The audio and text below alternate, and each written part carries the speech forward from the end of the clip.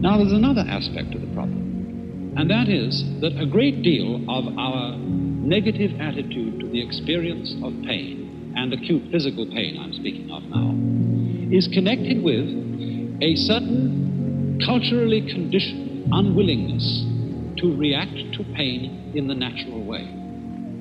In other words, we are afraid of giving in to suffering in the way that our own physical organism suggests to us. We are afraid of crying. We are afraid of screaming. We're afraid of going into those very undignified motions which constitute the human being's reaction.